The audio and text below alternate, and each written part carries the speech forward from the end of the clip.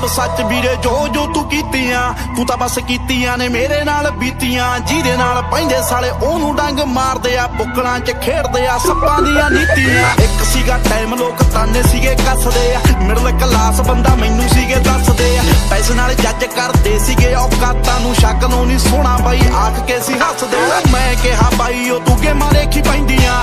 ਕਰਦਾ ਜੋ ਗੱਲਾਂ ਇਹ ਸਦਾ ਨਹੀਂ ਪੱਲਿਆ ਇੱਥੇ ਸ਼ਕਲਾਂ ਨਹੀਂ ਲੈਂਦੀਆਂ। ਉਹੀ ਹੋਈ ਗੱਲ, ਰੀਤ ਦੁਨੀਆ ਦੀ ਚੇਂਜ ਹੋਈ। ਪੱਲੇ ਸੀਗਾ ਸਾਈਕਲ ਤੇ ਸਾਈਕਲ ਤੋਂ ਰੇਂਜ ਹੋਈ। ਮਾਰਦੀ ਐ ਗੱਲਾਂ ਸਾਲੀ ਦੁਨੀਆ ਤਾਂ ਵੇਲੀ